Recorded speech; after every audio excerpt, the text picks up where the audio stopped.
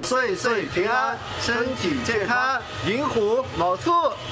喺云南野生动物园就安排东北虎 B B 同白兔以打手印嘅方式签署交接文书，